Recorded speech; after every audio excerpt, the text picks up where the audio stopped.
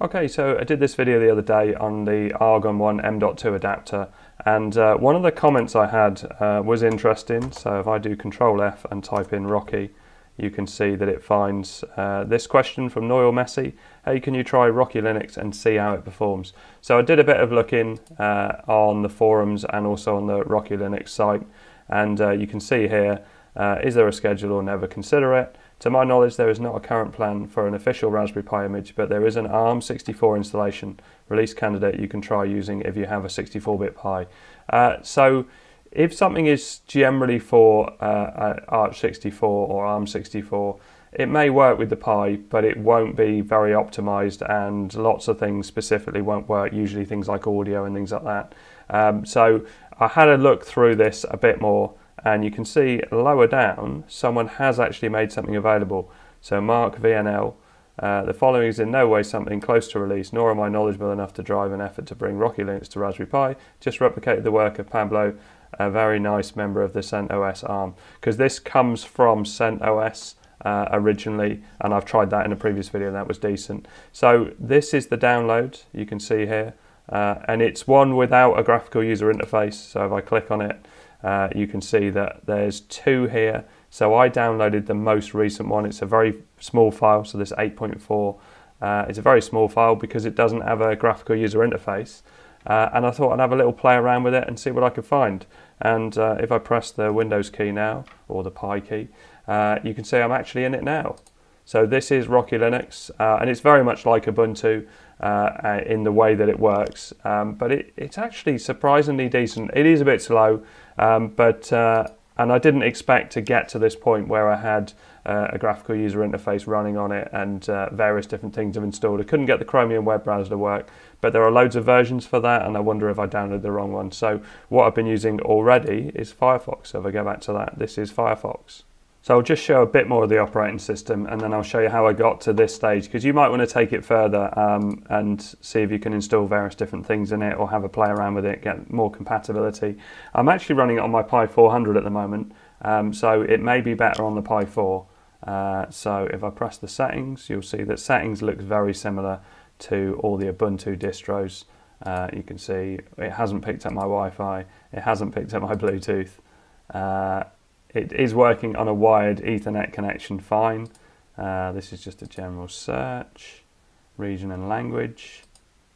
It's on the United States at the moment, so universal access, all of this is here as well.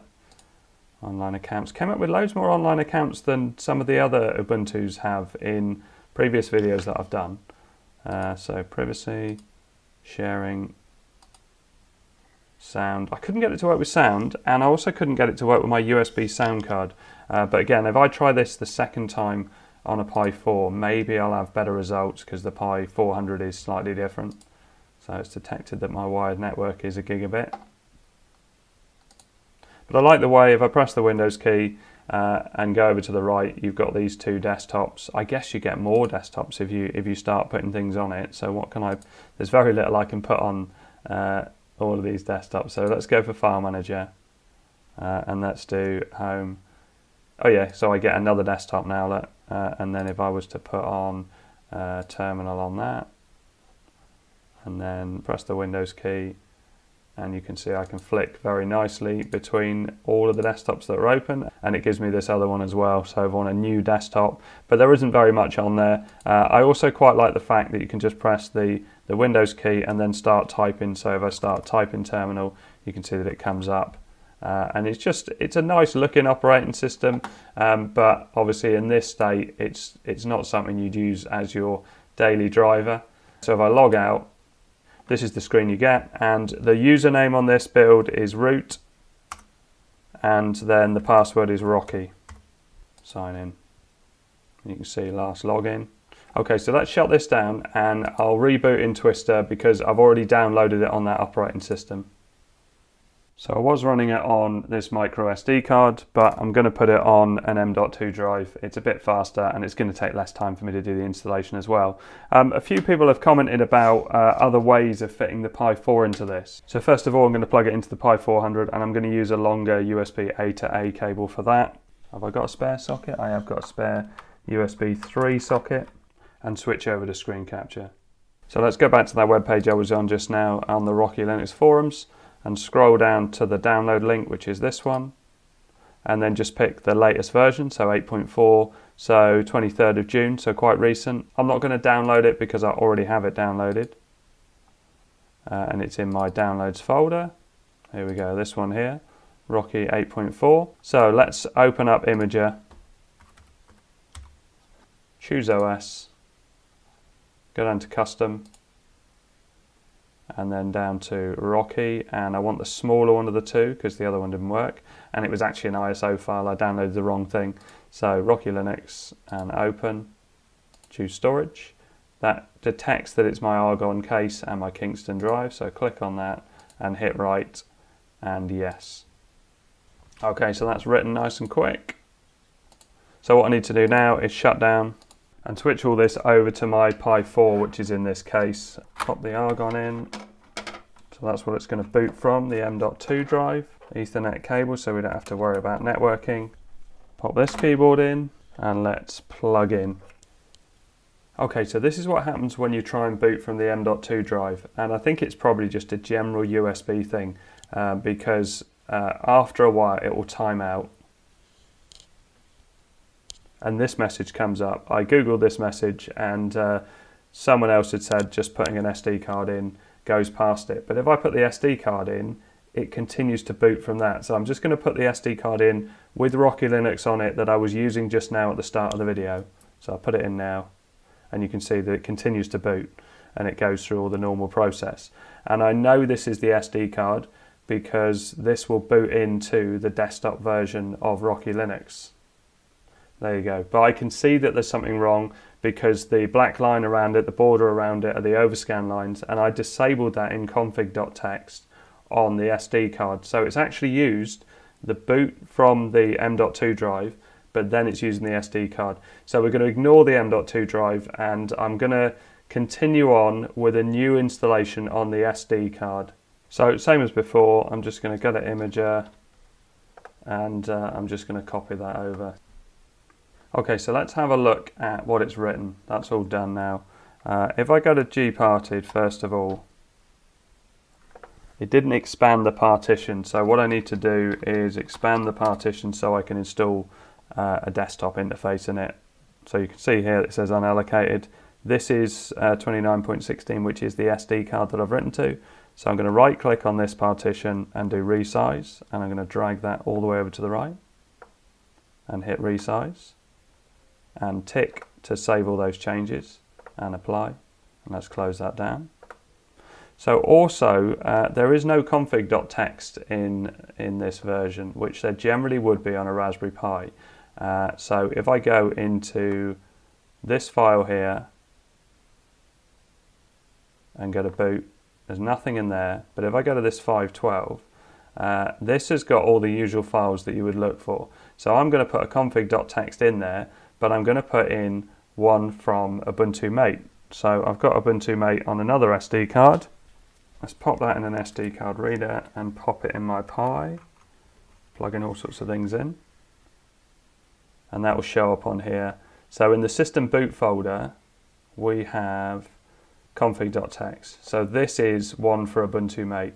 So let's copy that and I'm going to put it into here. It does boot without this, but it doesn't allow you to get rid of the black border around the edges.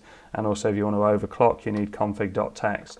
Uh, so if I double click on that, so this is how Ubuntu Mate looks. Uh, and I would imagine most of these things will be fine. That must be something I've added in uh, for one of my cases. So I don't need that. I'm going to hash that out. Not that it's likely to make any difference, but if I hash it out, I can't do anything. Now I'm probably going to leave all of these in although the command line .txt is more an Ubuntu thing, so I think I'm going to get rid of that line. Uh, not sure what they are. They're all to do with audio, GPU memory, all of that's okay. Did I overclock this build? No, I didn't. So the important thing we've got is the ARM 64-bit, which is telling it it's a 64-bit operating system, but also disable overscan so it's going to get rid of that blackboard. I'm not going to worry too much about the other bits. It might add more compatibility. Uh, I didn't do this before. I used one from Twister OS, but that's a 32-bit operating system. Anyway, let's hit save. and close all this down.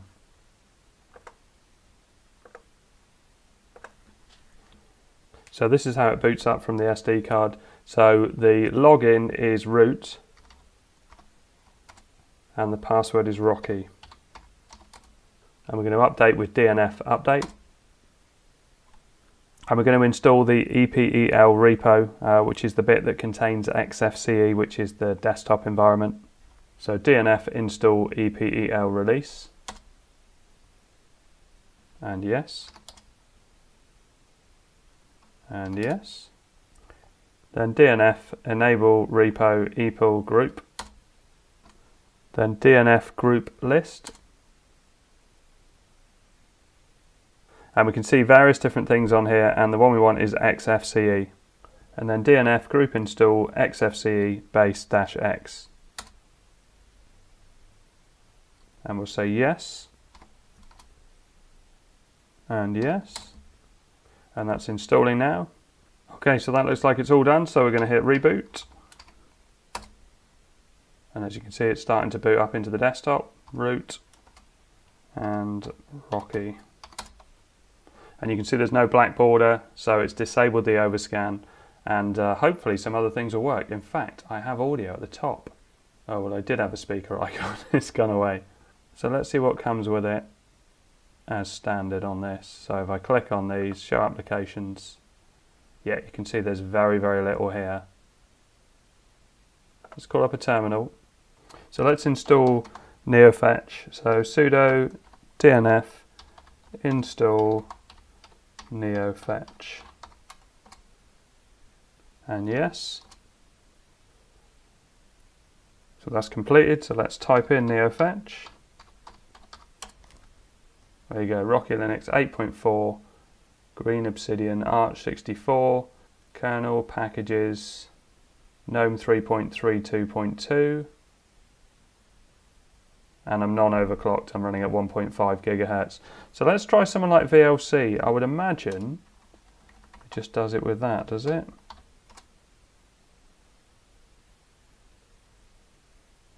No.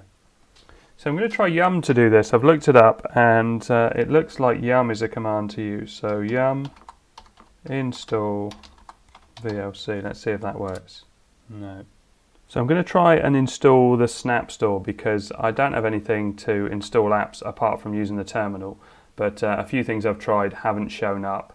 So let's try the terminal again. sudo yum install epel-release. Okay, so that's already done. So then we'll do sudo yum install snapd and yes.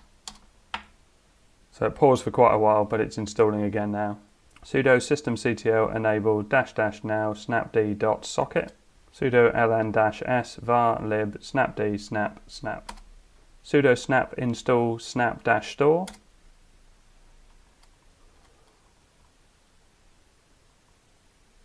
I tried it again and it looks like it's doing it. So the first time didn't work, too early for operation. Okay, so it looks like that's all finished. Uh, so we go to activities and see if it shows up on here. In fact, if we start typing snap, we haven't got anything. But uh, if I go back to this, and I'm just going to reboot and see if that makes a difference. Okay, so I've restarted. So let's start typing snap, and the snap store is there. Excellent. Right, let's see if we can get VLC on here. And search and search and VLC isn't on there. Why is VLC not on there? Let's just try something else. Okay, so VLC wasn't showing up still, so I'm going to install Chromium with the Snap Store. Oh, and it looks like it's not going to work on this one either, so let's go back to that Snap Store, and uh, I think I'm going to install Firefox, because I know that worked before. But let's try installing it with the Snap Store. Ah, so Firefox doesn't show up in here either. Let's go to install, and what browsers have we got? So if we go to I don't know if I've ever tried GNOME Web before. Okay, so that's installed. So let's have a look and see if we can launch that. Okay, so GNOME Web didn't work as well. I guess that maybe is installing the wrong thing with the Snap Store. Um, so let's go back to the terminal and we'll just install Firefox manually. I just wanted to check if the audio was going to work. So let's try Firefox. Okay, so that says complete. So let's close that down and see if Firefox is showing up already. It is, it's on the bar. Just do a search for YouTube. I just want to try some audio. Okay, so I don't seem to have any sound uh, and it doesn't even have a device there to select. I'm just going to plug in my USB sound card and see if it detects it. No, it doesn't even seem to detect that. Okay, so I hope all this helps. Uh, let me know in the comments if you can think why the Snap Store isn't working. I did do the one for CentOS because I'd read that Rocky Linux was in a continuation of that, but maybe there's something different because it does seem to not show up very many things that are installable, but also uh, some of the things just don't work. Uh, but it is early days and uh, I was amazed to even get a desktop environment on it. Anyway, I hope all this helps. Thanks very much for watching. Please like and subscribe.